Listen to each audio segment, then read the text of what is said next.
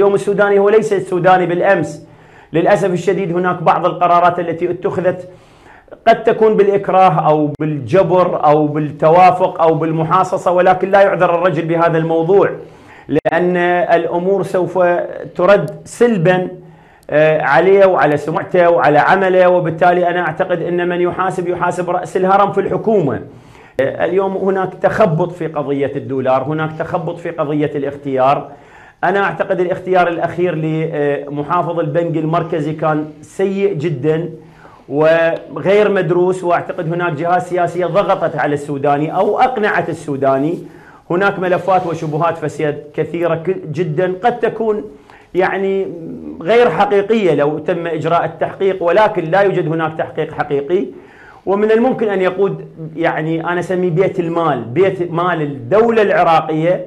رجل آخر بعيد كل البعد عن الشبهات بعيد كل البعد عن الشو التي من الممكن أن يحدث من هنا وهناك داخل مواقع التواصل لإرباك العمل المالي التخطيط والاستراتيجية المالية الابتعاد عن اختيار الأسماء للأسف الجديد التي عليها بعض الشبهات عليها قد تكون واقعية أو غير حقيقية. ولكن أنا أعتقد أن الدولة العراقية ما قصرت ولا قصرت ولا عقمت عن أن تنجب رجالات من الممكن أن يقودوا المرحلة الحالية والقادمة في قضية ترتيب وضع بيت مال المسلمين وقطع أيدي جميع السارقين وكذلك التسوية بين العبد والفقير وبين الحزب والمقرود. يعني هاي الناس المقاريد ما أقول فقير أقول المغلوب على أمره.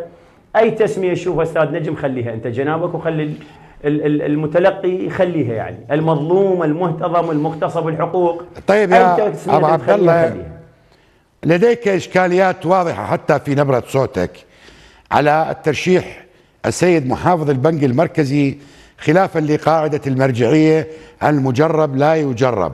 وقلت عبارة إنهم ضغطوا أو أقنعوا السوداني بإعادة تعيينه مرة أخرى في ازمه كهذا.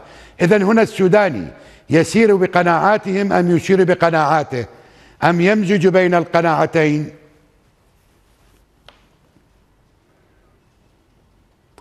أنا أعتقد باعتقادي يعني مو بحكم اليقين بحكم ال ال ال الاعتقاد. بأن السوداني الآن لا يسير بقناعاته لأن يعني كنا قريبين عن السوداني وهو أخ وصديق محترم وأنا أعرف يعني عمله من كان عضو مجلس نواب وكذلك شفته وشاهدته من كان وزير في أحد الوزارات. آه، عالج الكثير من الأمور ولكن حتى بذاك الوقت غيب وغلب عليه في كثير من الأمور ولكن يعني أنا أعتقد الرجل عندما وصل لأعلى سلطة إدارية وسياسية وأمنية وعسكرية أنا أعتقد لا يمكن أن يعذر في قضية مهمة جدا هي في إعادة الكل يعرف بأن آخر مخرجات الإطار هي السوداني. آه، أنا قلت بالأمس قلت بأن الدولار سوف يغرق الإطار. وقلت بأن الدولار سوف يحرق ما تبقى من الثلثين في تعرف الإرهاب أغرق وأحرق الثلث. والثلثين من الممكن أن يغرقها ويحرقها الدولار. فعلى الجميع آه، أن يد يعني يدعم السوداني أن يجعل السوداني يفكر بعيدا عن التفكيرات الجانبية من هنا وهناك حتى يتحمل المسؤولية كاملة. وأنا أعتقد لديه من الحلول الكثيرة. يعني اليوم مثلا البارحة كان سعر الدولار وصل إلى 153 واليوم صعد 163 الناس قالت وكأنما لعبة من الحكومة. اتهمت الحكومة بهذه اللعبة حتى تجمع الدولارات وكذا وهكذا. أعتقد هذا قد يكون غير حقيقي غير صحيح.